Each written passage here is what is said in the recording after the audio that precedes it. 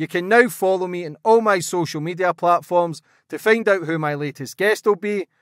And don't forget to click the subscribe button and the notifications bell so you're notified for when my next podcast goes live.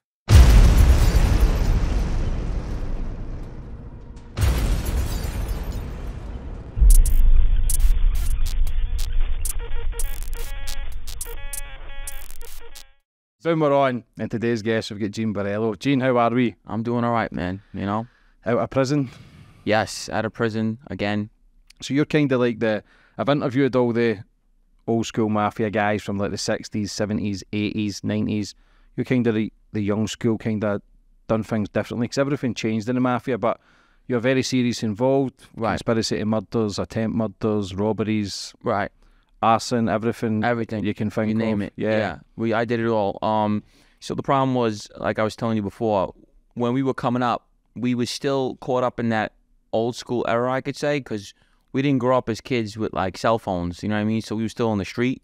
You know what I mean? Everything was in the street. So as we were coming up in the late 90s, early 2000s, it was still chaotic.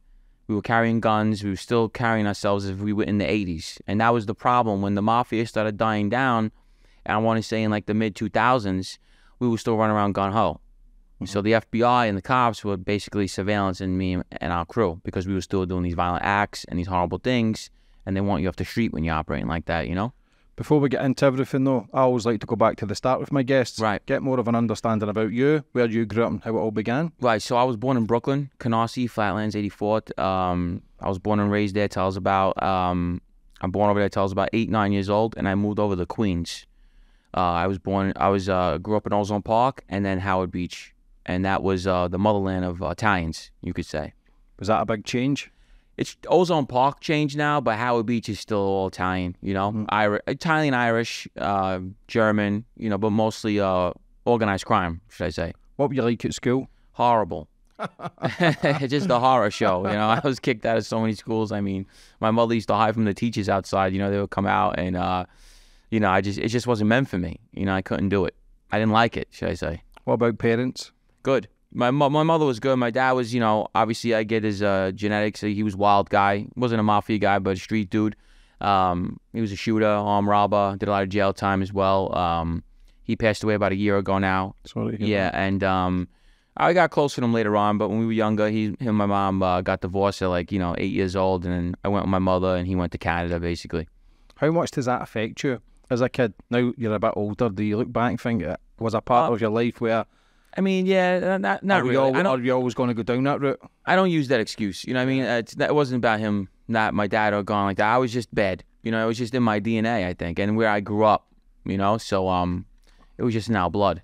Do you see a lot of yourself in your dad? Yeah, I mean, well, his his uh hot, his bipolar hotness and hothead and uh violentness. Yeah, that's that's what I inherited from him, should I say? So And, you you- know, What was it like in school then? Kicked out all the time? Yeah, I was. I didn't make it. I didn't make it to the ninth grade. They put me in self-contained in ninth grade uh, for behavioral problems. I was going in. I went in junior high school. They tried to put me in the self-contained, and then um, What's that? that means like um, you can't move around. Like you're a bad kid. They put you in like, like you can't go to other classes. They have you in just one class, and yeah, Like a basically, fucking prison? yeah, basically like uh, for the misbehaved kids. So um, then in high school they kept trying to do that to me, and then I was done. I just left. What was your friends like then? Um, all bad, all bad kids, pretty much. You know, um, most of the kids I grew up with, a lot of them are dead. A lot of them overdosed on drugs. A lot of them are in prison serving life or in jail. Um, that's it. You know. And what was the mafia? Did you know much about the mafia? Yeah, I did. I was born around it. So my uncle was Fat Andy Ruggiano. My grandfather was affiliated with them as well. Uh, my cousin Johnny Boy was a Gambino hitter. Um, my whole family was around it. So it was pretty much all around me when I grew up. I was best friends with Gotti's grandson. One of the other grandsons worked for me when I got older. All of us were related. You know, it was just a soap opera. Did anybody ever tell you though? Listen, don't go down this route because we all know it's No. fucked up now. But Um, not that they didn't tell me, but you know, um, I mean, they nobody nobody in that neighborhood's really gonna tell you don't do that because everybody was trying to do that. You know what I mean? So we really didn't have nobody telling us that. My mother, I was out. I moved out the house when I was like 17 years old. So, you know, who was the p- families in power at that moment? what families Yeah. in my neighborhood was Bonanno Gambino. That was the most in Howard Beach Ozone Park. That was what was over there. Gambino Bonanno. That's what you were gonna end up with if you grew up in Howard Beach Ozone Park. Was that an attraction for you straight away? Yeah, it was. hmm You know, What sort of what age did you start getting into sort of crime? not mafia crime 15 16 years old i started off young uh petty stuff you know and then i kept getting worse and worse. So how do you get recruited then?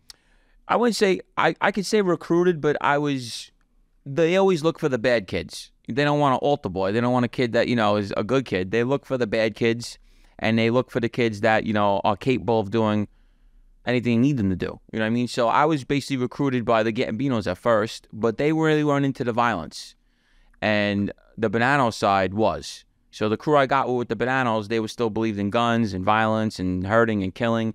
Where the Gambino guys I was supposed to go with Trucchio and them, they were all about money. The Bonannos were both money and violence. So I had told this story before why I went with the Bonanno crime families because I had done something. Somebody tried to kill me in a highway and they shot my friend through the throat. And my other friend in the back, I knew who it was. I wanted to kill him. I went to the Gambinos. I said, I'm killing this kid. They were like, no, no, no, you're not doing that. His father's a wise guy. Da da. I said, I fuck you. So I went to the other side. I went to the Bonannos, and they're like, yeah, get him. So how is that in the mafia when you try and switch sides? Is that allowed? Though I was never on record yet with somebody, so I was floating. I didn't know who I was gonna go with. You know, I was supposed to go with Gambinos because I was born Gambino, but my best friend was Bobby Giallanzo, and his uncle was Vinny Asaro and Ronnie Giallanzo. They were both captains and soldiers and ranks, and their whole family was just the structure of the Bonannos. So I had my choice, literally, and I ended up going with the Bonanno guys. Who tried to kill you? Um, this kid Phil Galena. We had beat him up and cracked a bottle over his head, me and Chris Cagnata, and um, he put money on our heads with the Albanians. And they shot into a car. us coming, we were coming out of a nightclub, and um, we were on the highway, and they shot into a car at us, tried to kill us, tried to kill me in the car. I ended up shooting my innocent friend and another friend of mine. How does that play in your mind? Well, you know, we were pretty, you know, I was pretty mad, you know, because that's not how you carry out a hit. You know what I mean? You're supposed to wait for me to come out my house or sit on me, you know, shoot innocent people. You know what I mean? So um, he left after that. He went to Italy. He knew he knew he didn't get his targets, and um, you know, I went back. I shot his house up multiple times. I blew his cars up. Uh, we threw a half a stick of dynamite in uh, his brother's pickup truck with his brother in it. We tried to shoot his brother with a shotgun. You know, we were going hard at them. We actually made his bro. We actually made him and his family move. Did your friend die? No, he didn't. Miraculously, he survived. He got hit right through the throat, right through here, and the doctor just said that he missed everything by this much. He Oh, died twice on the operating table. They brought him back, and um, you know, he's like in the record, like the medical record books almost, like for being alive. How old were you at this? Well, I was only twenty. Um, this was August two thousand five, so I was twenty one years old. Are you fully committed at this time with that life? I was in, involved. Yes, I was. in- You mean was I involved? Yeah, yes, I was totally- heavily. yeah. Yes, yes. When did you start kind of making noise and g- gaining attention? 20 from- years old. We were doing armed robberies. We was doing stick ups. Me and Bobby G. We were we were we were holding guys up a lot on card games, uh, drug dealers. You know, we were doing scores, jewelry stores. You know, we started getting that reputation as uh, being uh, big armed robbers and violence. You know, stabbing people, beating guys with bats. You know, we started getting that reputation from just me and him doing our own thing. You know what I mean? But they knew we were related and we could have went anywhere we wanted. And then finally, when Ronnie really had enough, is um, and they were basically like, "All right, you just got to stop now." Is uh, we we had stuck up a guy coming out of a card game, and it happened to be a, a big shots card game, uh, Gambino card game, and we almost we should have got killed for it. And um, we had to give everything back. I ended up pistol whipping the guy. It was a bad situation, and um, we had to give all the stuff back. And Ronnie uh, basically told us, you know, we had to get a little bit of a beating, and um, basically uh, told us this is it, like no more of this shit. You know, he's and we didn't stop. Obviously, we told him, yeah, but we were still robbing. you know what I mean? So, but we just you know did a little better. What was that like when you had to get a beating and, and face it? Well, it's better than getting killed. You know, I mean, it's just that it- you know, you never know because people say, "Oh, murder, murder was still around then." You know, did we think we were gonna die? I did for a second because um, that was very disrespectful what we did. Um, but when they made me meet them at a funeral parlor basement, yeah, so it's to scare us. I almost was gonna leave. I wasn't gonna go. You know, I mean, I was. Fuck that. Yeah, man. I, I- wouldn't have went in there. But I knew I was going with Bobby G, and that's Vinny Asaro's nephew. I'm still Fat Andy's nephew, even though he's dead. My cousins didn't cooperate yet, Anthony. So I was like, I don't think they're gonna kill me. But anyway, they handed us over to my people, and Ronnie and them had to beat up me and Bobby a little bit. Nothing bad, but just to give us a. You have to get something. A warning. not even a warning. You have to get something. You know what I mean for what we did. You know, we disrespected their turf. It could look like the Bonannos sent us there to do that. You know what I mean? It could look like they says fuck their place, go do it. You know. How many people are in the families at this time? So usually all the families stay equal. Um, you always got at least 200 soldiers, made members, and then you have about 27 captains. About that around each family will have that uh, boss, underboss, consigliere, and then you have associates waiting to come up to become members. So you you pick uh, the Bonanno family probably had at that time with associates 500 people through the five boroughs. Still a strong army, though. It? It's a good, it, and we all know each other. You know what I mean? So at the time, it was pretty, you know, strong. That's before Joe Massino cooperated. You know, Was it more political in, Very. in your era?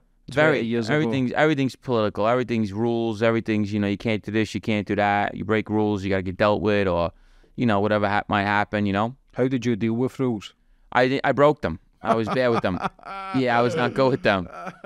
Not at all. Do you become a threat though? Then No, I- in the ass. I mean, yeah, I did, but they liked me a lot because I was very capable. So they knew, you know, they had something good. You know what I mean? Why did you enjoy violence so much? I don't know. I can't explain it. I was just good at it, getting it done. Um, I like hunting people. You know, I could say like I, I would like to sit on them. You know, see where I get them. It was kind of fun to me. Sounds sick, but it's the truth. You know, um, I guess I learned that from doing armed robberies because it's the same thing in hunting someone. You know, you gotta scope them out, get them, whatever. So when they started making me get, you know, beat people up, shoot people, it's the same thing. You're just basically sitting on them, hunting them. The best place to get them. You know. What was it like doing your first armed robbery? Uh, yeah, so it was nerve wracking because to switch over, you know, to, to guns and doing that, um, you know, it's y- you just gotta. I was when we're getting taught to do that, just do it. Don't think, you know, don't think everything that's gonna go wrong at that moment. Just just do it.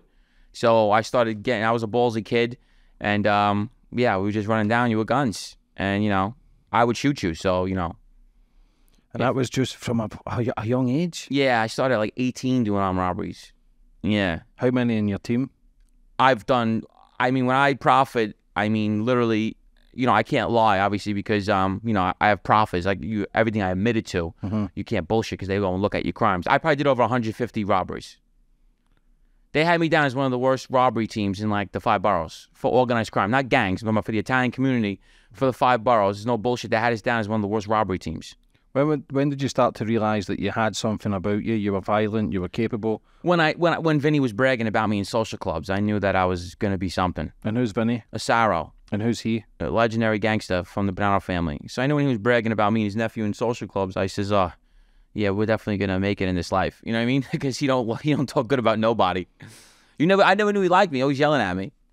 Is that because he tried to guide Yeah. you? Yeah. So when he sees guys that are tough, he tries to knock you down, and you know want you walk around with your chest out. So he'll make you know I'm the boss. You shut the fuck up, and you just uh, you know. So when did you get involved with the mafia? Um, I'd say strongly 20 years old. And what happens then when they come calling? Um, you have to do it. You never say no. I was taught you just never say no. If you want to prosper in that life, no don't exist. You understand? So anything they order you do, you just do it. And you were willing to do anything? Yeah. So I mean, it was funny because they would tell me to do something, and then they think like I'm doing it in a day or two. I come back in a couple hours. I'm like, oh, it's done. They're like, already? I was like, yeah, it's done already. Don't worry about it. I was on. I wanted to please them and show them that I, you know, I was the best guy they had. How many was in your crew? My crew was um, Jerry Asaro was the crew captain. Him and his father, Vinny Asaro. Um, Jackie and my and Ronnie were two acting captains. Then you had Mike Palmacio, Mike Padavona, Ricky Kessler, who was a tough tough guy. Um, me, Bobby Giallanzo, and then a few other guys. But those are the main guys. Uh, Jimmy Unit, Jimmy Aurora, uh, Frankie Bones, Pudgy. There was a bunch of us. How the fuck do you remember all those names? Well, we, we we were together every day. I mean, this is not um acquaintances. We're in a social club together every day. You know, hanging out every day. You know, Who was, every day. who was the most violent? For my crew, Yeah. um, at the time, Bobby Giallanzo, my partner. He was vicious because he was with those razor blades and knives. He was like, you know, into that hacking shit. You know what I mean? I wasn't. I'll shoot you. These guys into that fucking massacre shit. You know? Cutting people up. hold your face down. Cut. We thought one time we were fighting in a nightclub. I never forget this. It was so gross. And we thought we we seen Bobby with his knees planted in the guy's chest. So it looked like he's slapping him. He's got a fucking box cutter. He's friggin' hacking his face up and his head. We were calling him Bobby Chainsaw Massacre after that. This kid was like he was nuts with a knife. He couldn't put one in his hand. So he was definitely the most gruesome. You know, but I was the most ballsy because I'll shoot you in broad daylight in front of everybody. Did the police know who you were. Yeah, at the time. Well, we didn't know that. See, the FBI, you'll never know that they're watching you until they come. But we knew our faces had to be on the wall because we're hanging out with people that are, you know, big in that mob in that family. You know, Does that bring heat though? Doing- violence. yeah. Yes, of course. Yeah, absolutely. So but they, but you understand, you have to be violent. If if, if you're a loan shark and you're loaning money, and you're a punk, you're not a tough guy. Why the fuck am I gonna pay you? What am I scared of? Like, what is it? You, oh, you're gonna kill me? You never did nothing. You never beat nobody in your life. What am I scared of? What's the fear? Mm-hmm. You understand? So with our crew, when they say, "Oh, we're gonna hurt you," people are nervous because we were really doing that. Walking in your business, a guy owed me will beat you up right in your business. You know what I mean? Mhm. In front of your customers. What sort of jobs were you getting? Um, a lot of deadbeat lists. You know, um, guys that aren't paying, they're backed up, or um, you know, uh, a couple of guys in our crew that weren't tough. They'd say, "Go help them out, collect the money." This guy disrespected this one, did that. You know, go slap him around, go do this. It wasn't always shoot him, beat him up. That's only on circumstances where you really disrespected us, or you. It could be one dollar. If you say "fuck you," I'm not paying you. That's how you get killed. That's the best way to get killed. If you could, you could owe three hundred thousand dollars, and you could come to us and go, "Listen, I can't pay. I'm jammed up. Help me." We'll work with you. But if you say I'm not paying, that's it. How was it being in the mafia at that time, especially with the late eighties, nineties, with everybody turning, everybody wearing wires, Right. everybody cooperating? Was it in the back of your mind that this is a fucked up life, or did you just want to be part of it? We that? just wanted to be a part of it. We really weren't thinking about that. We're like, ah, no, that that's we're not like that. You know what I mean? So we didn't care. Um, and like I said, there was a lot of crew still. Well, in the early 2000s, that neighborhood was flooded out with organized crime. Did you feel untouchable? Uh, yeah, I did for a little second because not because of who I was with, but because I was a pistol packer. I was really bad with guns. I always had them on me. You know, Why were you so fascinated with guns? I don't know. I picked it up. It was my downfall in life. I picked them up at 16 years old. I just liked them. Sense of power? I yeah, I just liked it. Yeah, I don't know why. Maybe because I was a scrawny, skinny kid and I always needed weapons. I didn't get bigger till I was older, so I figured to win the battle with a weapon. You know what I mean? Yeah. So I guess and then I I picked up the gun and then um that was it. I never put it down. Gave you some power? Yeah, and you know, I was just I was capable of using them. Some people, not everyone's capable of using a gun. People say, "Oh, it's easy to shoot someone." I know a lot of guys that froze up with guns. They don't. They're very scared of them. You know. Yeah, I had an SAS man on, and he says over 90% of people with guns miss. Miss their target because they're turning their Well, now, head, and, not, they're and, shaking. and not only that, they're scared. You know, some Yeah. guy. You know, you think it's not easy to go sit on someone and then hop out on them. You know, and shoot them. You got to be a ballsy dude. You got to, you know, you got to be willing to do it. what was it like shooting someone for the first time? It's you. Well, like, like it says, if you're not hitting them in the head or a main target, you don't even know you hit them. You do know that. If it's a low caliber gun, you might not even know you hit them. You know that, right? I mean, if you know we play with guns, if you shoot somebody, you don't hit him in the stomach, you don't hit him in the head, you might not know he's hit. You just get out of there. You'll know later on. you know I mean, right there and there, you might not even know you hit them. I know guys that were shot in their ass, their leg, didn't even know they were hit till they got home. My my um. Ronnie Giallanzo's brother-in-law, Mike Kinsey, is my good friend. He got shot six times in his stomach with a 22. He had no clue till he got into his house, laying in his bed with blood coming all out of him. Yeah. What's the worst thing you've seen in that life? What's the worst thing I've seen? Yeah. Um, the worst thing I've seen. Uh, me and my partner uh, beat a guy nearly to death with a um um a tire iron and brass knuckles. We physically we thought he was dead. Did you not beat one of your friends up and he shot himself as well?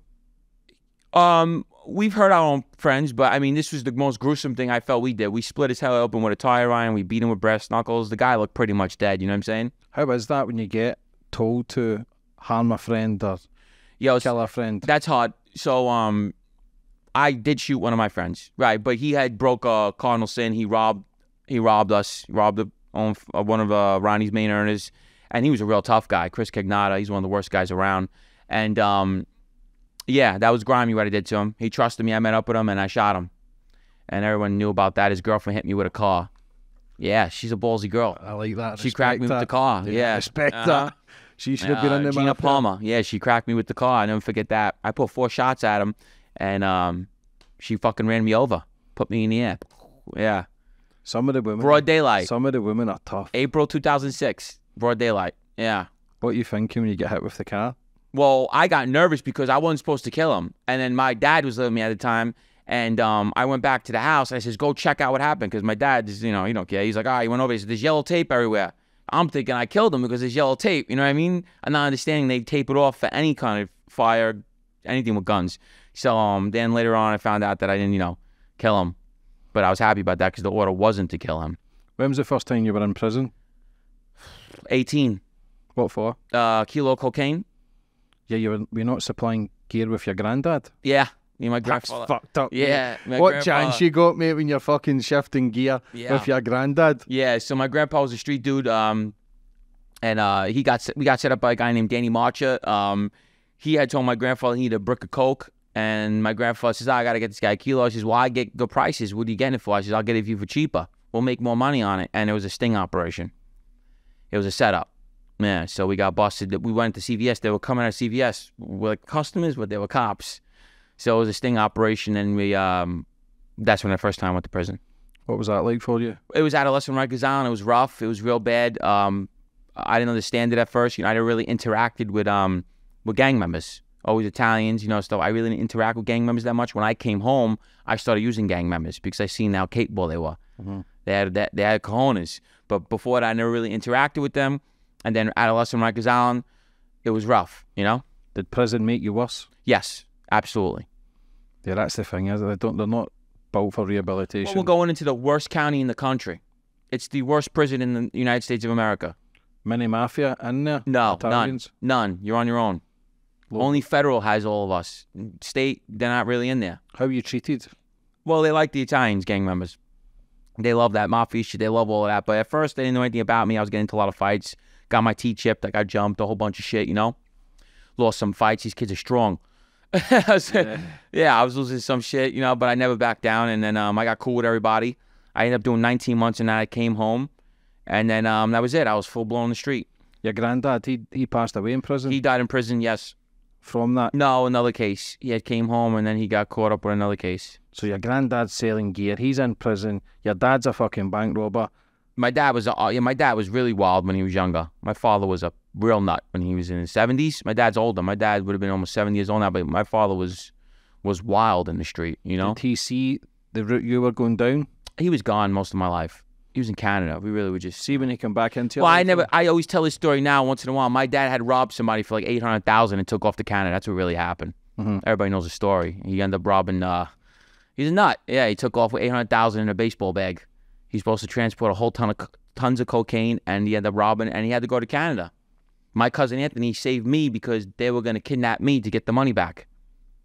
Yeah, my mother. He came to see me and my mother in a hotel before he left.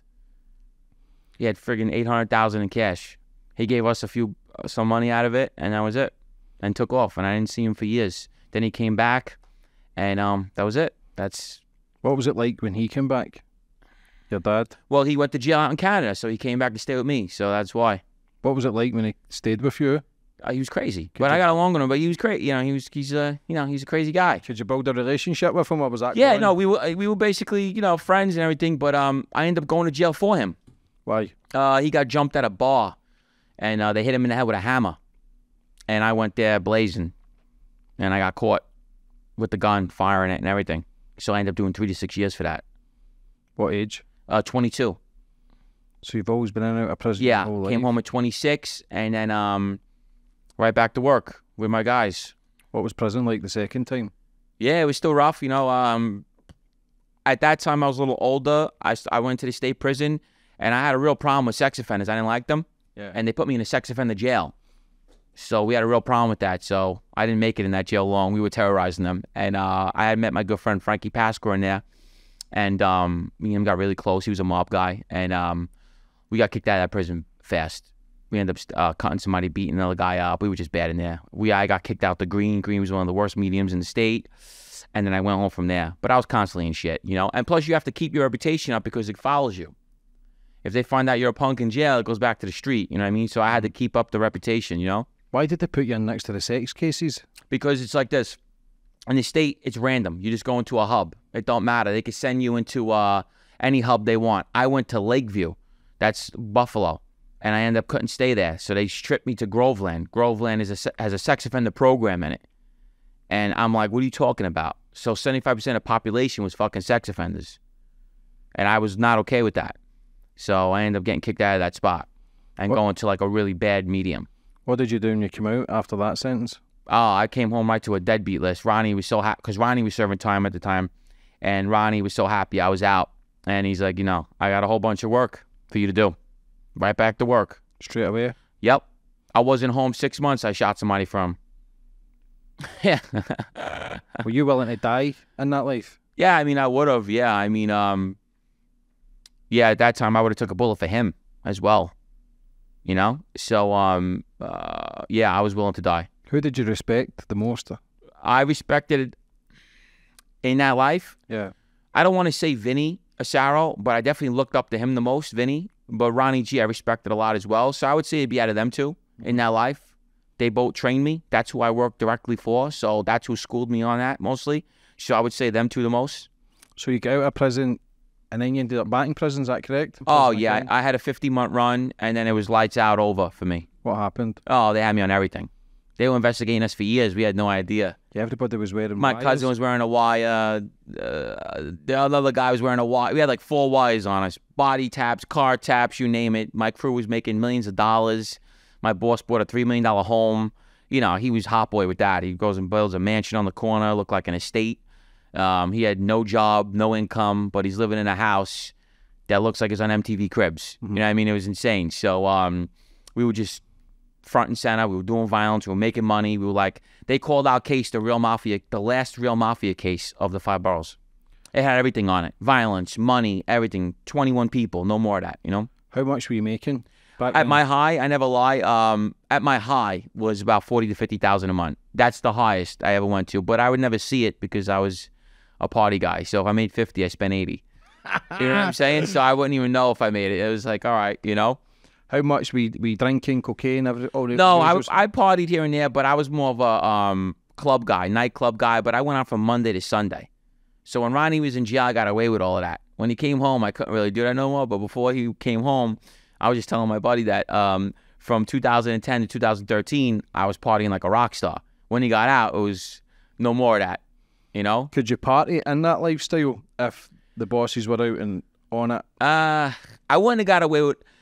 When Ronnie was away, I got I got away with a lot more. But they assigned me with Vinny.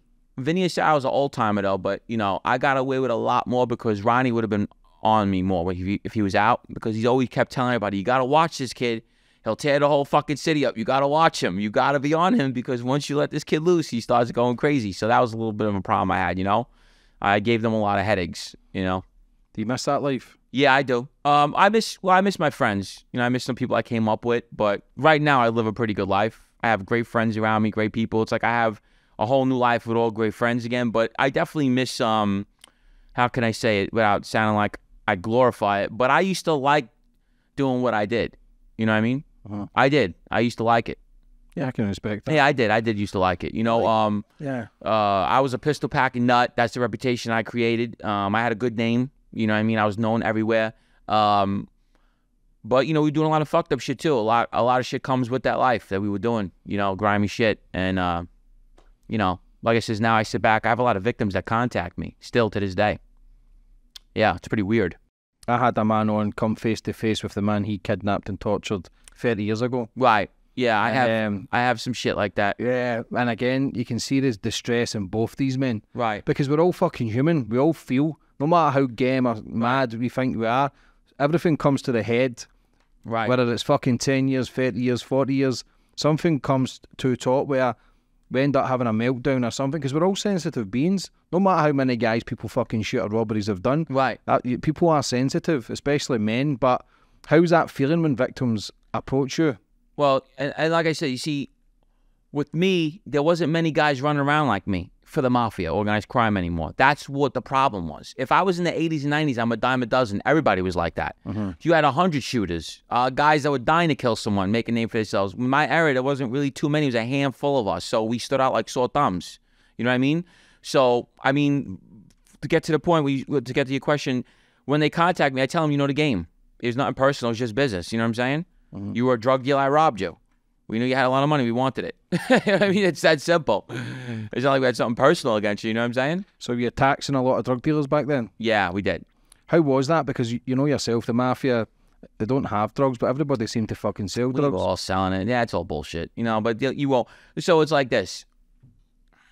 the co- the the mob will be like, all right, you'll go grab a drug deal, for instance. You know, all right, yeah, I'm gonna give you five thousand a month to protect me. We'll take the money. Yeah, yeah, we got your back. If it goes to a table, we don't know what you're talking about. You know what I'm saying? It's basically a Ponzi scheme. We really can't protect you. You know what I mean? Unless you want to lie and say, "Oh, that's not drug money; it's loan shark money." You know what I'm saying? To lie and switch the story. Vinny used to do that, but um, we really can't protect drug dealers. So we're just better off robbing them because if you shake them down, and then we go sit down for them, we can't sit for them. You can't sit for drugs. No wise guy's gonna get involved in it. You're not allowed. What was your daily routine like? Oh, I was just fucking collecting money, constantly scheming, plotting, you know, seeing what needed to be done, uh, going to the club, social club, you know, checking up on. I had to watch card games as well. You know, Ronnie had a, a card game. I had to always make sure it was all right. Everything to make sure the money was, you know, operating. So when did it all come on top? What year? With the police? The Oh, uh. September 2014, I was arrested. Yeah. what you thinking then? Because it's not as if you've not done prison time. You've done a few sentences. Do you know what I'm saying? So it's not as if you fucking turned straight away and cooperated. What was the? How- Yeah. wh- what's the moment then when it comes on top? You see people wearing wires because it's the same patterns. The, I'm pol- gonna make first of you- all, the police fucking I'm gonna, everything. I'm gonna make you laugh right now. When I first got locked up, I didn't realize how bad it was. I mm-hmm. didn't know what I was being locked up for. My cousin set me up. I was going to a wedding, and I went into his house. I stood over. I walked out the house, and I got stormed by fucking hundred cops, undercovers. It was state organized crime task force. And I'm wondering, like, I asked them. I said, "Use the FBI?" They said, "No." So I'm like, "All right, I'm good." I was in the FBI. I'm thinking like some bullshit. You know what I mean? I go to fucking arraignment. I had no idea my cousin set me up, and they said it at arraignment.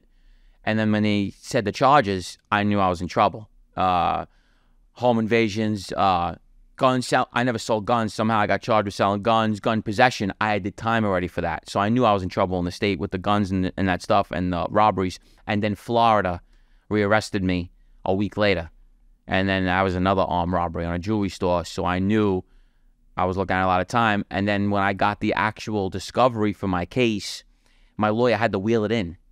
He had to wheel it in because it was wiretaps this high.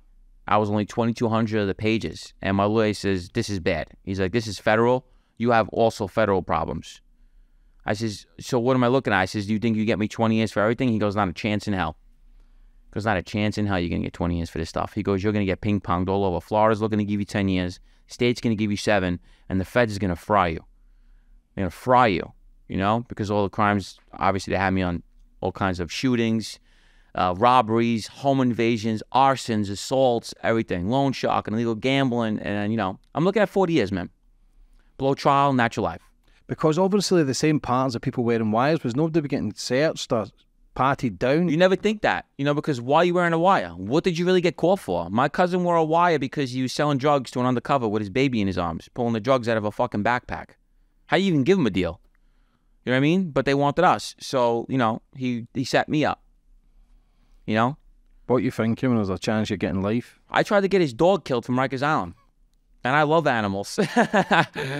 I tried to have little Gotti. He was with me, little Gotti, and my friend Fat Matt kill his dog. But um, that's how mad I was. And I love animals. And that's how I wanted to get him because he loved his dog, Massimo. It was like this big bullmastiff. And I was trying to get the dog whacked out. and I, cut- yeah, we know his wife was walking it because his wife was living with his grandfather, Courtney. And we were trying to get the, I was trying to get the dog killed.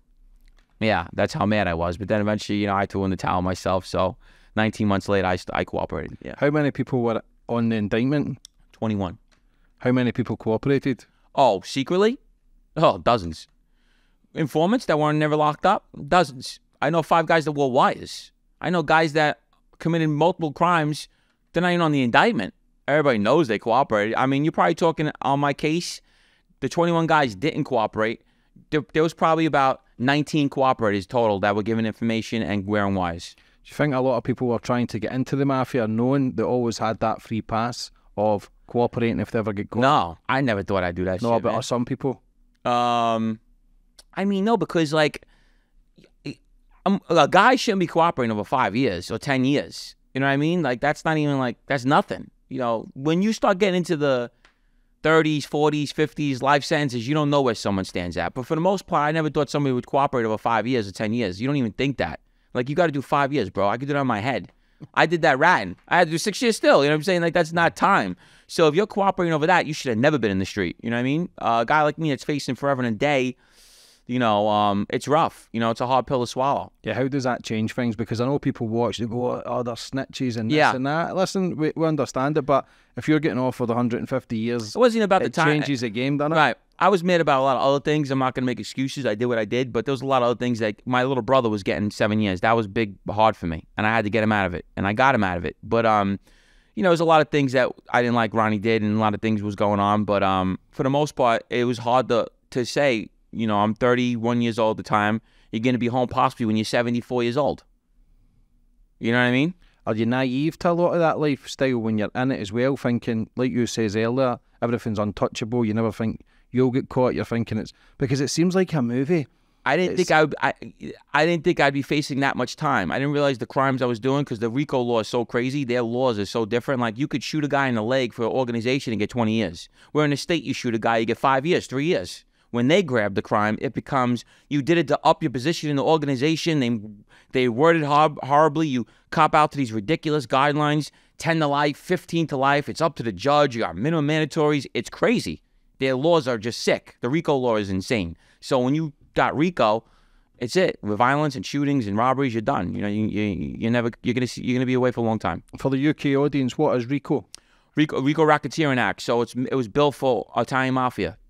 They can never get the guys in the back in, in the scene, and they can never get the guys calling the shots. So they built it. They built the RICO Act to get the guys that are the shot calls. They basically can indict you on hearsay, no evidence. He say hearsay. You understand? Yeah, no, because I've could just say you did it with me, and you're organized crime. You the shoe fits, you're gonna wear it. If it's they- crazy. Do you think if they want you, they get you? Yes. They with organized crime, they had unlimited funds. At the time when they were powerful, they could extra any amount of money they want. We were over terrorism in New York at one time. Mhm. We were more important than terrorists. Think about that. So you must have been bringing a lot of heat to the. Well, I was bringing a lot of heat, definitely, because we were doing a lot of violence and people wanted us off the street. You know? Could you have been killed? Yeah, absolutely. They made a few attempts on me. When? Uh, they tried to kill me in my house with a machine gun. They shot my house up with a machine gun. Chris Cagnata. I was. They tried to kill me in front of my house. Another time with a shotgun. Um, they tried to kill me in the highway. Just you know, beef and stuff. You know, I wasn't invincible.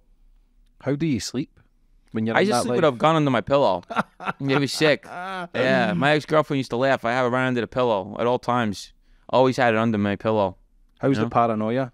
Huh? How I, I was um, yeah. I mean, I always circled the block. I always watched everything, you know, because like I said, I was doing a lot of shit, and you know, robbing drug dealers too. They could put money on you as well, you know. But um, yeah, I, I was very aware of my surroundings. So how long were you, were you in prison for before you cooperated? 19 months.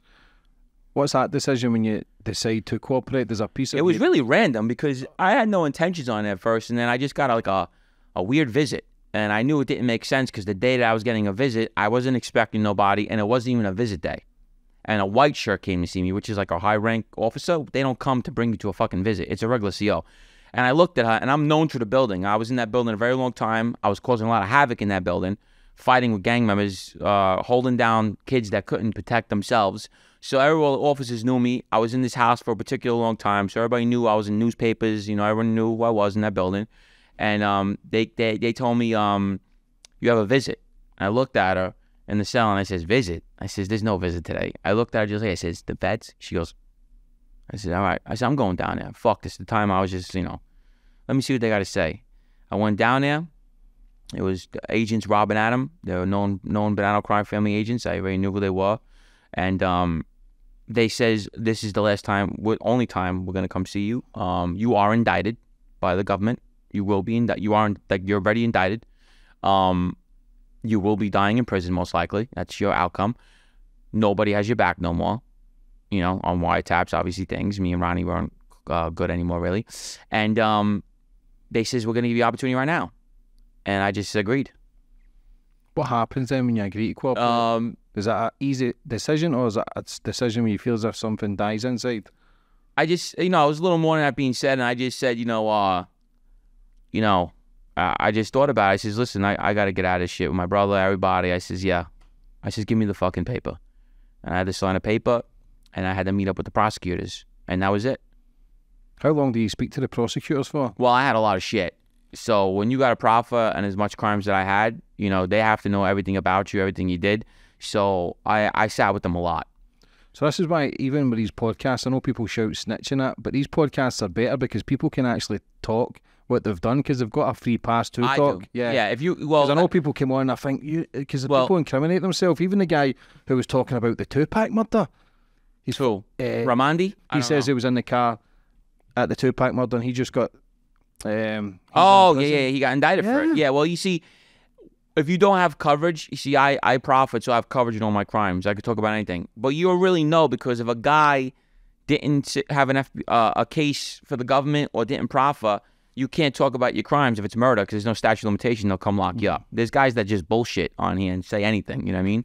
There's no real crime. It's just fake. You know what I So mean? you So can back everything you see up as I mean, with- that's it's public knowledge. Yeah. I mean, that is documented in federal paperwork. 'cause you're not podcasting. at I'm associate one all over my indictment, which just consists of guns, shootings, armed robberies. That's the FBI of my. So I'm associate one. Ricky Kessler was associate two. Vinny Rossetti was associate three, and Bobby G. Was associate four, which I don't know why. I still can't figure it out to this day. All the ones that were that were cooperators, and Bobby G, my partner, who was never locked up, I still can't figure it out to this day because they won't tell you, was associate four. They never put his name in the paperwork. Well, if you're when you're a cooperator, they don't put your name in the paperwork. And I kept saying that don't make sense. Because when you were on both sides, you know. You could just look at paperwork now and know who's cooperating. He looked like a rat on paperwork. See when you go and, that's the boss's nephew. see when you cooperate, if you got to have a lawyer there, because how the fuck can you trust them? If because you might admit to things and they might just add to the indictment. How do you sit there with trust? Well, they knew everything already. They needed me because I was just checking off the boxes. You know what I mean? They knew everything pretty much. They would. I was just co- I was confirming everything. I was the last guy to cooperate. They already had a case on investigation. What guys wearing wires for years. So I was just, you know, dotting the i's. You want to say, you know, crossing the t's. That was it. And what happens if you lie once? Oh, you're fucked. They'll rip your fucking deal up. Yeah, you'll do it for no reason.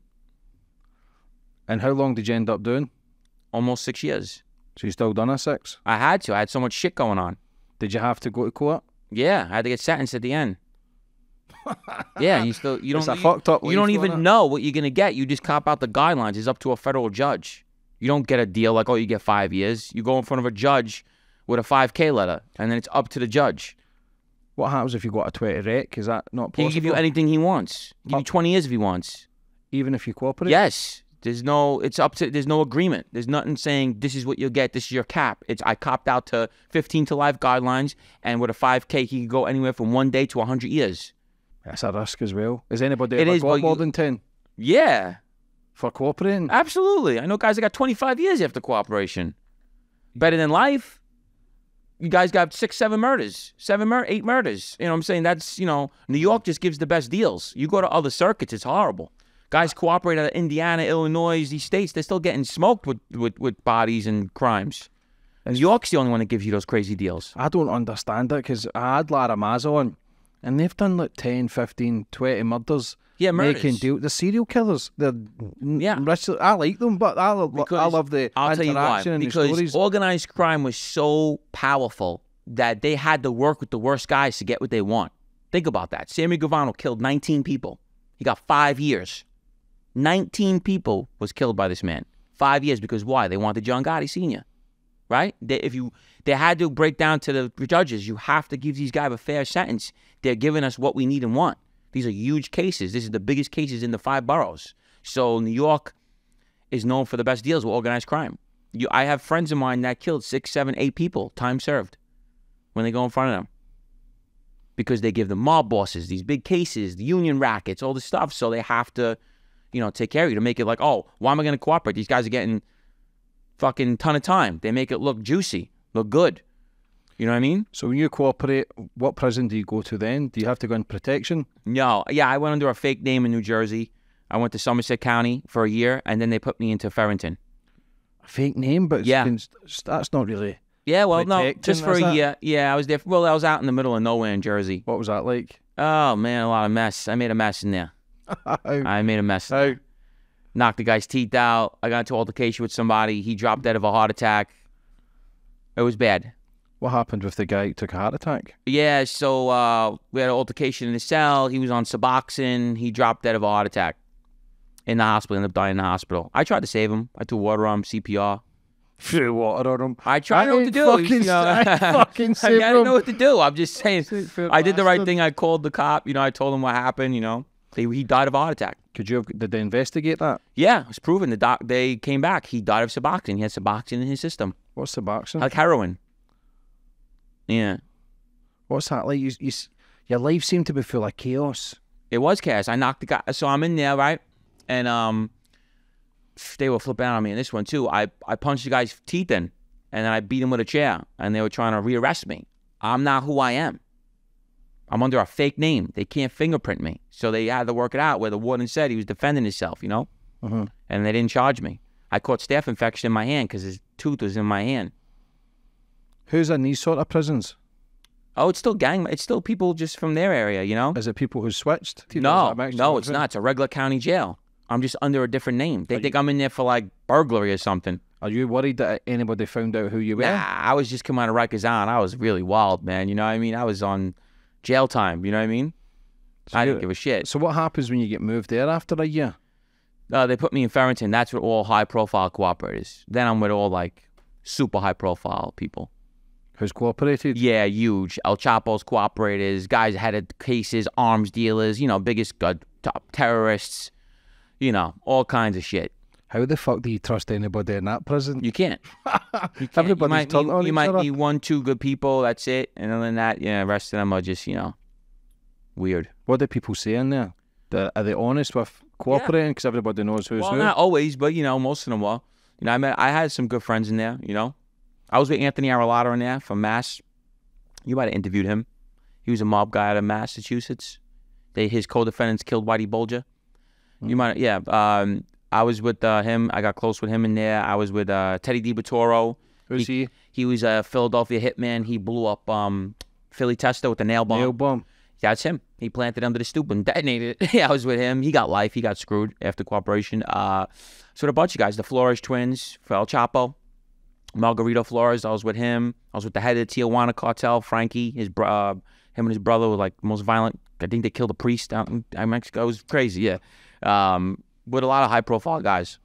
What you thinking then at your life when you're in there, you've cooperated, you know the old life is done, you can never go back to it.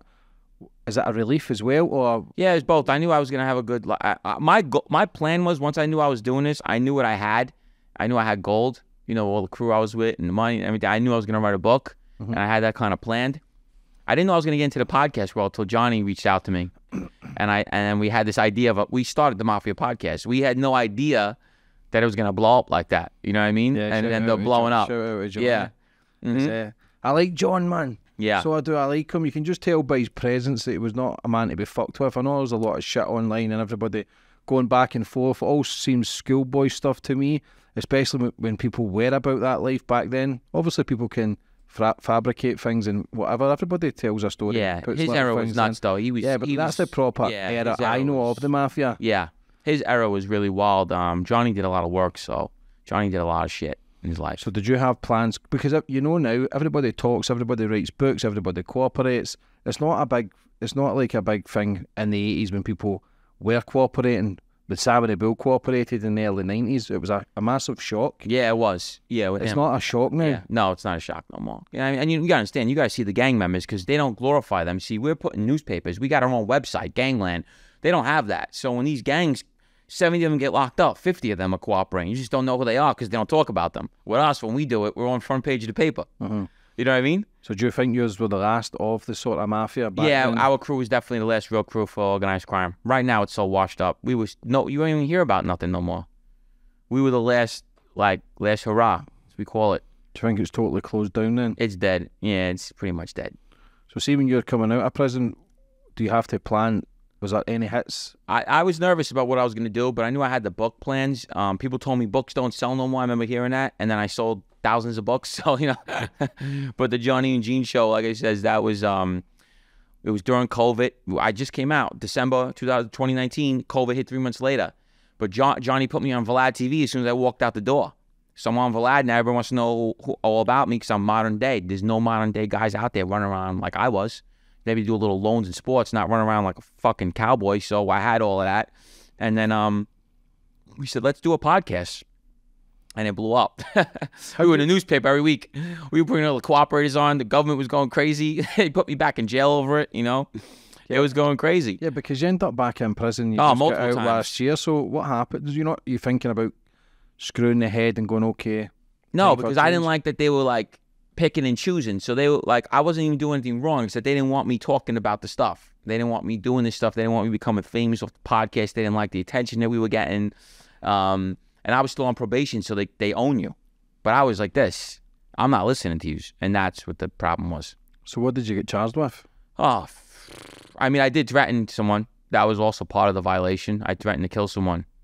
Yeah, so that was bad. Then um, I ended up going in four months jail, six months house arrest. They restarted my probation. I came out three weeks later. They violated me again, and then again. I wouldn't listen, but I had a good judge. Do you never worry that it could have just fucked you off for life because you kept fucking up? I felt like I wasn't really doing bad though. It was like we weren't. I wasn't committing crimes. The one mess up I did was to threaten the person, but other than that, I wasn't doing nothing wrong. I was just going on podcasts. They How- didn't like it. How long could that have got you in prison with? Five it- years because I was a category six. I'm a, my points are 48 life sentence points. So I'm supposed to be. I'm a lifer. You know what I'm saying? That's what they t- keep telling me. Like you were fucking not a life 40 years. You're you're a guy that's supposed to be gone forever. You know what I mean? So they get mad about that. So what's it like going back to prison? Do you, do you need to change your name or that again? Or No, did you just I went. No, I went into the unit. I was in. I was in the box a lot. I was in the hole a lot. So when I went back the last time, I did most of it in the hole. And then when I went back again, I did a lot of in the hole. Then I went back again, I did a lot of it in the hole. So I ended up doing like twenty something months in violations. Did you ever get therapy? They always made me go to anger management every time I came out of prison my whole That life. would the first thing I'd want to do. I said, get him a fucking therapist. You know, my therapist got me violated one time. Why? I was on phone monetization. I wasn't supposed to have two phones. I had two phones secretly, so I had one that they were they were looking at. Um, anything I text goes to their probation because I threatened somebody. So they couldn't do it to iPhones. You can't go into an iPhone. Uh, you have to have a warrant to go into an iPhone. So they didn't have the software program to go into an iPhone. They don't have it. But Android, they go right in. So like you have to have an Android. I they said get rid of your iPhone. I said okay. I didn't get rid of it. I had it secretly, and I had the Android. And my therapist seen me with two phones, and she told my probation. She's obligated to. She's still a law officer. You know what I mean? So that raised flags that he said he has a burner phone. So when they violate, the article's funny.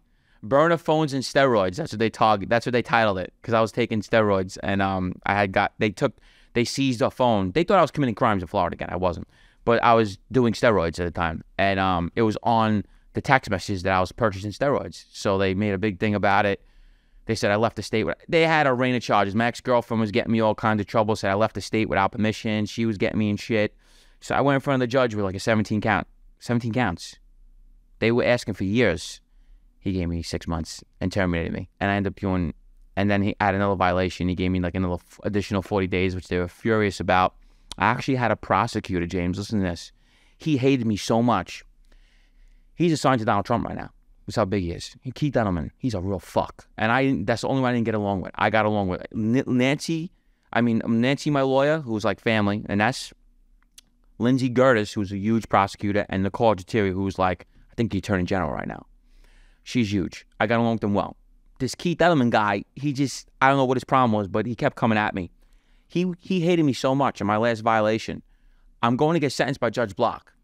We already had something worked out with them that's saying, listen, we're going to give him whatever he gives. We're going to say concurrent. Whatever the judge block, we're going to say recommend concurrent. So, in other words, it gives me a year and a day. It's concurrent with my six months I just got because they could have screwed me and went consecutive and I have to do a lot more time. He flew down from D.C. He flew down to D.C. He's a D.C. prosecutor. He works in D.C. He flew down to my sentencing. And my lawyer goes, Keith Edelman's in the courtroom right now. I says, the fuck he's doing here? She goes, he's coming. He's trying to screw you right now. So he made it like he randomly was in the courtroom on my sentencing day. He just so happened to be in the Eastern District. And he came there purposely to try to fuck me, and Judge Block wouldn't listen to him. And Judge Block still went against them and gave me nothing 40 something days. They said that I ran from the police. I had to admit to it. Uh, cops went to pull me over in Florida, and I took off on them. Mhm. I said, I didn't know they were pulling me over. And they and I, that was part of my, uh, I didn't want to admit to that. What was Florida like? I was doing fine. I was just getting caught up with my ex girlfriend. You know, a lot of bullshit with that. It was like bullshit. They lied, said I pulled a gun on somebody in a bar, which was a total lie. The FBI was like lying on me a little bit. Like I was really in shock with that. This agent Christine Myers, she had like a real hard on for me. Like she was like going to Florida, lying on me. I told the judge I went into that bar. I got into an argument with somebody. If I pulled out a gun, that would be all over camera and on the news. They'd have the video. There was no gun. They were trying to make it sound worse for me. Like they needed me to be sound like a gangster again. So this judge would give me five years or four years because I'm eligible for five, 60 months. I'm a cat. I'm, I'm a high category, and uh, he just wouldn't go for it. He goes, I don't know. He goes, I'm gonna give him 40 something days concurrent. They were furious and terminated me. What happened with the old crew? My whole crew, they're all out again except for Ronnie. Do you ever speak to them? No, no. Is that Well, done? Most of them are punks, and I'm not trying to talk bad about them. There was like two. Mike Patavona was a tough guy. Ronnie G's legit tough guy. Vinny's dead. Sarah died. Jerry can't mess around no more. He's got like three RICO case convictions already. Jackie's out the game. He was he's done. They asked him to be the consigliere. Told him he didn't want to do it. You know, these guys are all just like it's all washed up. You know, Mike Palmacio was a good guy. Got along with him good, but he wasn't a gangster. You know, he was supposed to die multiple times. He got shelved like four times. Um, so it's like real dismantled right now. You know, everybody's just doing their own thing. What do you think of that life now? Um, right now the life is a Yeah. complete joke. Because obviously you wanted to be in that life, but it causes a lot of pain. Obviously you've got victims, obviously your own life is Right. in and out of prison. You wanted that life, but what do you think of that sort of life? In right now, home- I would yeah. I wouldn't recommend it to anybody. I mean, because it's really nothing to recommend now. But I would tell them if they were coming up in my era, when it was still crazy at the end, um, I, I was promoting it. You know what I'm saying? I was always taught to recruit kids. You know, now I mean, you, there's nothing even to put them in. there's no organized crime really. It's it's it's like a fraternity. It's nothing. There's no more violence. No one's getting killed no more. No one's you know. There's nothing. If you get an indictment now, you just get sports betting and loan sharking. You know, no one's going to jail for a long time no more. You know, it's oh, so you'll never know where someone stands at. You know, you know what I mean? Because they're not doing big boy crimes. They're doing petty shit. Gene Borrello never sits here with you today if I'm facing 15, 20 years. Do you understand that? And I'm being honest with you. You'll never meet me. No one know me. I'd be sitting in prison. You know what I mean? Mhm. Guys now are never facing that kind of time. You'll never know what their heart's really at. Who's cooperating over five years? Nobody that I know. Six years, seven years. Guys that the time the crimes we were doing were facing hundred years, decades. You you don't know what someone's gonna do. So you'll never know where someone to recruit someone now. You don't even know what they're really about because they're not gonna prove themselves to you. Oh wow, would you borrow lend money out? We had to prove ourselves. I'm running around with guns, shooting people, going doing crazy shit, tying people up, kidnapping people, digging holes. We tried to kill a witness, put a guy in a hole. We were doing fucked up crazy shit. So nowadays you can never know what someone's really about because they're never gonna be put to that test If you for organized crime. do you have, what's your biggest regret in that life? My biggest regret, I should have listened to Chris Cagnata. He told me, come with me. Fuck these guys. We'll take over. That's what he told me. He goes, they, that's what he told me. I'll never forget it. It's not damn dead. He goes, fuck these guys, Gene. He goes, me and you, come on, we'll fucking sell drugs. We'll fucking do our thing. We'll never have these worries because if I was with him, I wouldn't have had a bullseye on my back. When you go with these mafia guys, you get a big bullseye on your back. I'm walking with Vinny Asaro every day. This guy committed the Lufthansa heist. He's one of the most wanted men. I'm walking next to this guy. What did they put on you? A big bullseye. That's it. How That's all it is. How much did they get for the Lufthansa heist? Seven million dollars. It was the biggest airport heist in American history. In the history of America. It's nice. That's a nice bit of bread. That. He blew it. He had eight, got eight hundred thousand out of it. He blew it in a couple of months in the racetrack. He's a degenerate gambler. Yeah, that's what he told me. yeah. Yeah, Were you gambling or anything? yeah, of Casino? course, we all hmm. did. I wasn't as bad as he was, but we were all bad gamblers. Everyone did their gambling, you know. How hard is it to keep a relationship in that lifestyle? Oh, when yeah, it's it's not hard. I mean, but you have to have a girl that's willing to be okay with all this shit. You know what I mean? Most of the women I was with were were okay with it. Yeah, their heads must be fucked as well. Yeah, oh yeah. One was in the house with me when they tried to kill me, so the bullets almost hit her too. Yeah. Did she stay with you after Yeah, that? oh yeah, yeah. It was just part of that regular crazy life. Most women like that shit, you know? A lot of women like it. Yeah, why is that life? Why do you think, obviously for the younger audience, why do you think that's so appealing for people? That the gangster lifestyle? I don't know. I don't have no idea. I can't explain it. I don't know. I Everybody, like the- gravitates towards it. Even on Netflix, all the best, all the biggest hitters are true crime. Yeah. There's a John Gotti documentary, Get Gotti Number One. Yeah, my cousin did that one. Anthony. Yeah. Mm-hmm. I like Anthony. He's cool, yeah. Yeah, he's a good guy, man. Yeah. So you're related to all these mob guys as well. Yeah, yeah. How was it when Anthony cooperated? What age were you? I was fucking in my heyday. I was in the middle of me. It, it hurt me in a way because everybody knew I was my cousin. You know what I mean? But you know, it is what it is. Do you get teased for that? Nah, hell no, no. They just knew that was my cousin. You know? Did you ever get nightmares? No. When I was in that life, no, No. no, no. Mm-mm. How was it writing your book? It was good. Yeah. How took- long did it take you? Oh, it took me a while. You know, it was a lot more in it, but like I says, the the editor kind of mangled it. But you know, they still like it. But um, it was good. We did good. Where Me and- can people get your book? Oh, all over Amazon. Uh, you could DM me for personal autograph copies. Um, it's on every book website. It's a fucking crazy life, though, innit? Crazy. I, it was an adventure. My life is a movie, and that's just the God's honest truth. And I even bragging. It's this is not a normal life, obviously that I lived. You know, walking out with guns, doing all this crazy shit. You know, it's like it's not normal. You know what I mean? But that's how I lived. You know, and uh, I can't change that. How You know? did you dress? Obviously, back in the day, it was all Different, suits. yeah. You've got a Louis Vuitton Sean John, hat. Sean you've got a Milano yeah, hoodie very- on. Yeah, this is this is a modern day guy. That's what that's why a lot of people love that I'm on the air because people that from my era can relate to me. Mm-hmm. You know, we weren't wearing three piece suits, running around with suspenders and tap shoes. You know what I'm saying? You know, that just wasn't our era. I was on the Sammy Gravano show and I said, "What was it like chasing somebody in tap shoes?" I said, "How'd you even chase him? How do you run?" you know what I mean? So whole different era. We wore sweatsuits. You know, Nietzsche, uh, Sean John in my era, um, Jordans. You know, all, all high in fashion. You know, that was just our thing.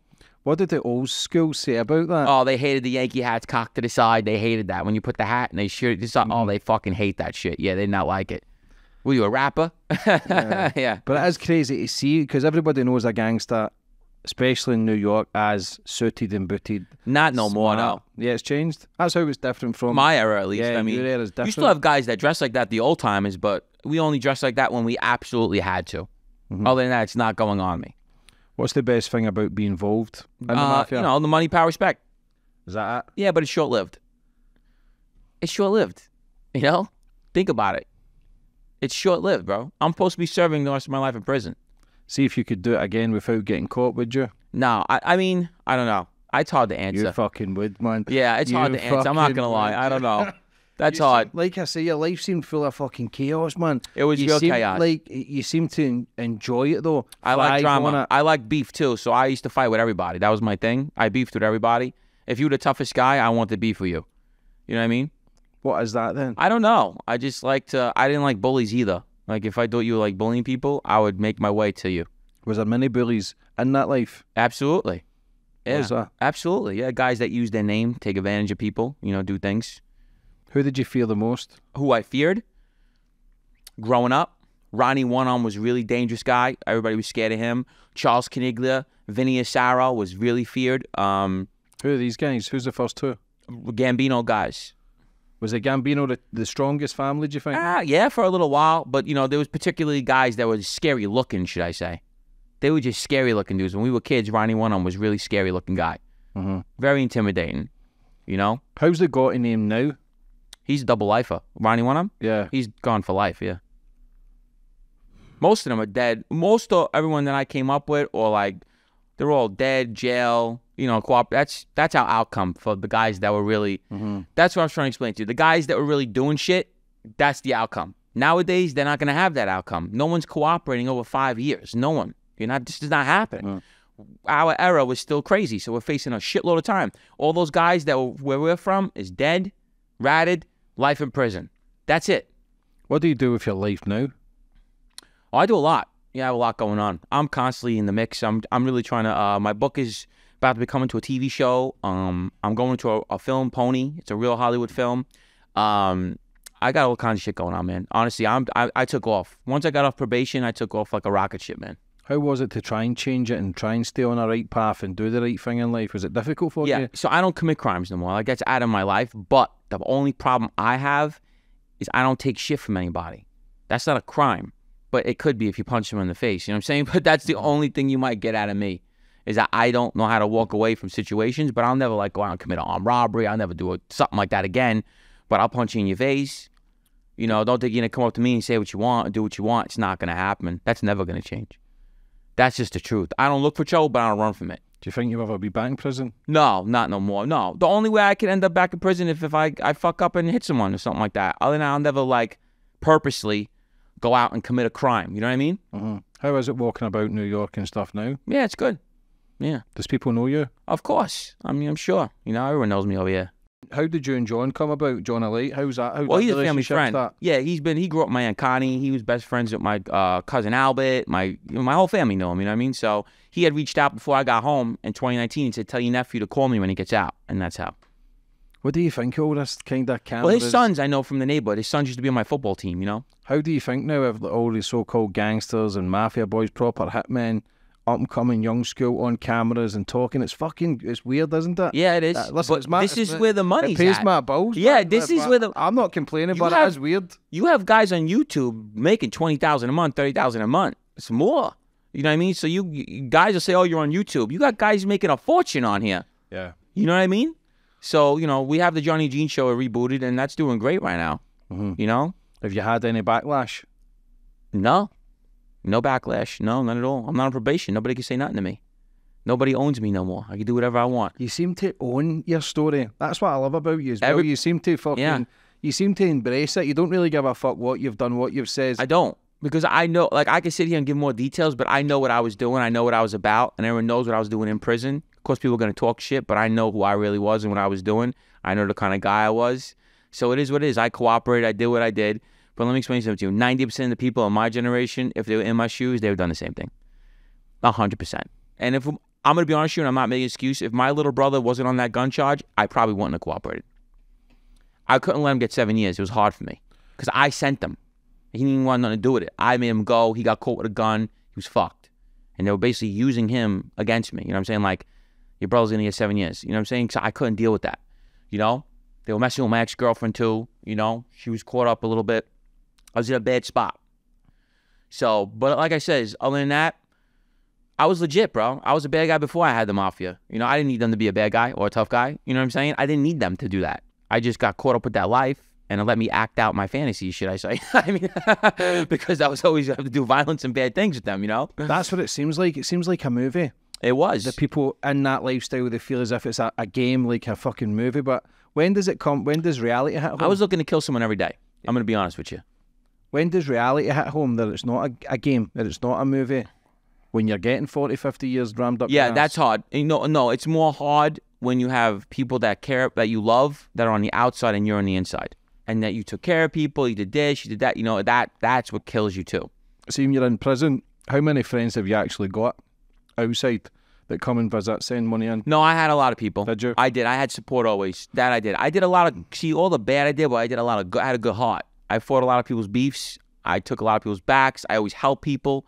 That was my thing. I had. I was like, it was so weird. Like you, I had like this great heart, and then the next moment I would like, you know, do something heinous. Bipolar. Yeah, I guess so. You could say that. I was like so weird the way I was.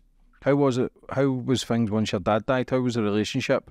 Oh yeah, it's sad, you know, but um, we were cool. But you know, diabetes got him.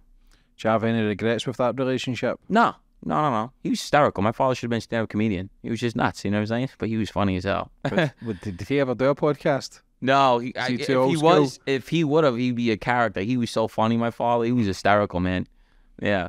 How's love life and stuff now? Do you have any children or anything? No, I don't. No, I'm single right now. Um, yeah. You know, I get a lot of attention, but I'm very picky. How is it? Well, how old are you? I'm 39. So still when are you 40? Or June. I'll be 40 in June. turned 40 in February, bro. Yeah, It's fucking horrible. I know, man. It's And up there, right? fucking horrible. I take care of myself. I work out. You know, I'm very big into the gym. You know that stuff. So I just, uh, I just take care of myself. You know. Yeah, because even though the old gangsters back in the day, they're all fucking fat and unhealthy. Like, how could they have ever Well, a lot of these it? kids look horrible. You got kids 25 years old, like they're 60. These kids are all fucking out of shape this era too. They don't do shit. Mm-hmm. A lot of these kids just play video games, sit around, eat. Have you, did anybody ever try to get you back into that life? No, When you come out? no, that's not even allowed. You know what I mean? Mhm. Mm. So what do you do then for the future? What's the big plans? The big plans, my book become a TV show, and I'm gonna retire off that. I mean, you know, it's gonna be a big TV show. That's what they're trying to make it. Where would you like to be in the world? Oh, God, where would I like to be in the world? I mean, I'd like to be sitting in a nice big house, Yeah. you know, on the water, hanging out. That's it. Do you think you would have ever been sitting in front of a camera, kind of? No, I told somebody the other day, I never thought I'd be doing this. Never. Mr. Gene, the bad guy, never. How is that possible though? Even when you get Sam happens. Ed Bull that doing podcast, know. that is fucking strange to see. It's I the know. world we live in, but this guy was he was proper old school man. He fucking lived it. He's for me. If you're going to do a true crime, he is the number one out there to get. There's no nobody, He killed Paul Castellano. yeah, at that level. Do you know what I mean? They- he changed mafia history. You know what I mean? So it's like you know it's crazy, but that's why I, I and I was saying this the other day. We get more attention than than real celebrities. You know what I mean? Because we're so out there. Think about it. Think about the views that we get. We get seen more than actors and shit like that. They were just saying on the YouTube that YouTube uh, people are more known than actual actors and celebrities. It's all changed. It's, It's crazy. nuts. I, my DMs is I get thousands of DMs, thousands, people all over the world. You know, How does people react to your no, stories? they're cool. They like me. I get along with everybody. I answer everybody. I'm not a dick. You know what I'm saying? I talk to everyone. It's a crazy lifestyle though. Very crazy. It's very t- toxic, m- madness. Everybody's full of rage and hate. Yeah, But you seem quite. You seem in a good place now. yeah, I am. that took a long time to get there. well, the probation was messing me up. I'm off. I travel a lot now. I go all over the country. You know what I'm saying? Um, sorry, not the country. Yeah, the states. I can't leave. I haven't left the country yet, but I will be. And I'm all over the place now. You know, California, Arizona. I'm going all over. Vegas. Could So could they still be watching? nah, I don't do nothing wrong. Yeah. You know, watch me, guy. Have fun watching me. Just gonna see me hang out and party and stuff like that. You ain't gonna see nothing you want to see. Are you still partying? Yeah, I go out and hang out. Yeah. Yeah, it's a fucking crazy lifestyle. Where Yeah. can people watch all your stuff? Uh, Johnny and Gene Show. Everyone knows that YouTube channel. Um, it's back up and running. What about your social medias? Uh, Gene Borrello. It's my name. Instagram. So you only got out of prison a few months ago. Yeah, on that violation, I did eight months. I came out September. Yeah. You're a fucking liability, if I'm honest, bro, yeah. as well, man. MDC Brooklyn. hope, hopefully you do fucking stay out though. yeah. Um, and they turn it into a movie. Like I say, it's the kind of younger school of the way it used to be. Obviously, Right. things changed. The dress sense, everything changed. hmm People's got the track shoots and the big gold chains. And what's the what was the best thing about being involved in a life of crime? I mean, there was so many. Uh, the adrenaline too. I was adrenaline junkie. I remember I had beef with somebody and I was carrying guns. I was on probation. I just came home parole. I almost walked into probation with a gun on me, not knowing I'm going to probation. I fucking thank God just realized it right before I went in and went right back out. I was like, Rush, I was playing Russian roulette every day. You know, getting pulled over with guns in the car, still on parole. You know, it was the adrenaline, I guess, the excitement. You know. What do you think looking back in your life so far? Looking back, Yeah. no, I mean I did a lot of fucked up shit, you know. So people glorify it, but you know, I- That's what it is. It's your story. Yeah, it's a true story. It's just you know a lot. We did a lot of shit, you know. I was part of a lot of things, and um, people glorify it, but uh, you know, I hurt a lot of people too. You know, I have a lot of bad things I did to people, so you know, I feel bad. You know, I do. I do feel bad. You know, I have a little bit of a. I have a heart. You fucking lying bastards. I feel bad a little bit. I mean, I was robbing drug dealers. I mean, I went on a show and the guy goes, "Oh, he's wearing my watch." It was a lie. They tried to get me violated. These are criminals calling up on me. You know, so it's like it's a do- doggy dog world. You know. For anybody watching though, it's maybe wanting to get involved in a life of crime because it is sexy. There's something that men gravitate towards. Mm. What advice would you say for them? It's short lived. Listen, you understand? You'll be the guy for a little while. You have the money, the cars, the women, the jewelry, and then they'll take it all from you. That's it. You're gonna lose it. You know, there's never gonna be a time if you're doing big boy crimes. You're out there. The FBI, the cops, you're gonna go to jail. They have to. That's what they get paid for. You know what I mean? You're gonna go. You're gonna lose everything. You go to prison. You lose your girl. You lose this. You lose your house. Everything you got. Your jewelry. Your cars. It's all gone. Start over again when you get out if you want to. if you could change anything, what would you change? If I could change anything, Mhm.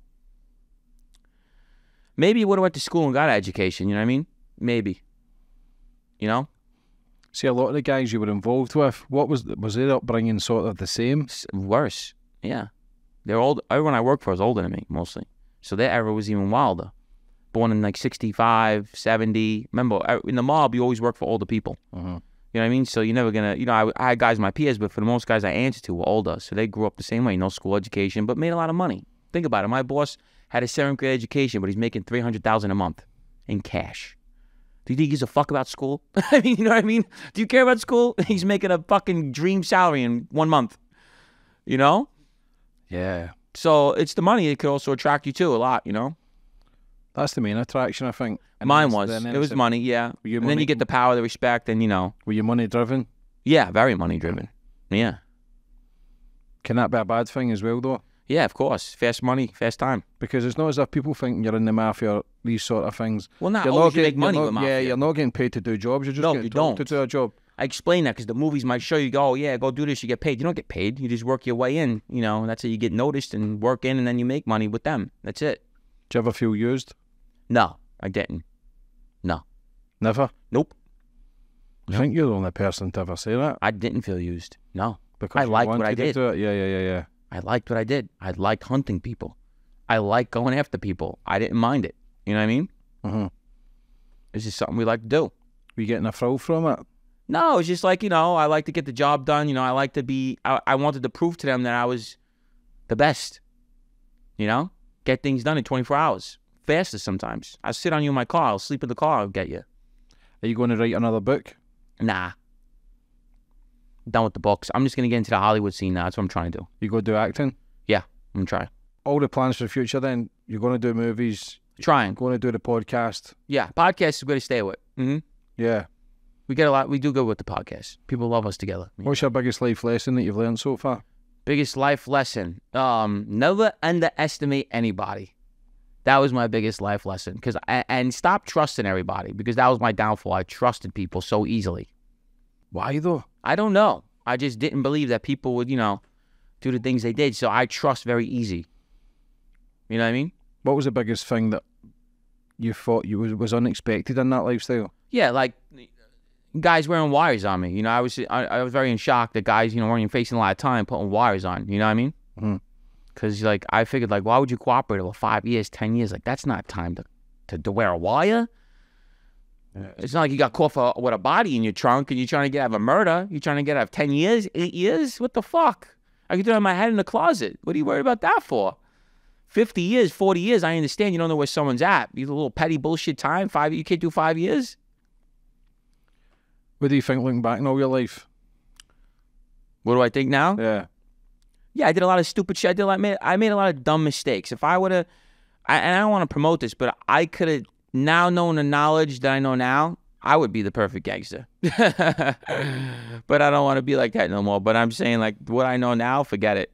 And if I was still out there today, oh my god, Did you ever struggle with mental health?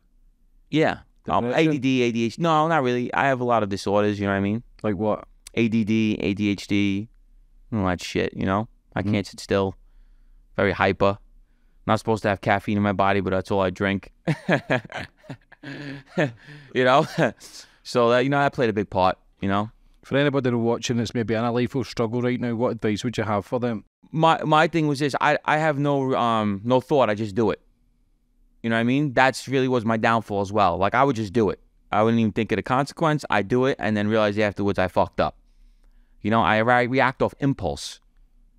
So that was very dangerous. You know, that could really ruin someone's life. So if anyone that really knows the situation, you know, you really got to think about what you're doing before you do it. Gene, listen, mate, for giving me the time and coming on there. I thoroughly Yes. enjoyed it. You're a mad bastard. I can see you've got labels everywhere, whatever you ADHD, Yes. bipolar, fucking. but again, listen, it takes a lot of balls to come on and be honest with your story and, yeah. and own it. Yes. No bullshit. And that's, yeah. that- that's keep it how it, how it is. Yeah. Would you like to finish up on anything else? Um. No, that's it, man. I really enjoyed uh, coming on with you. Yeah, listen, time. f- thanks again. I wish you nothing but the best for the future, bro. Yes. Stay blessed. All right. Thank you. Bless.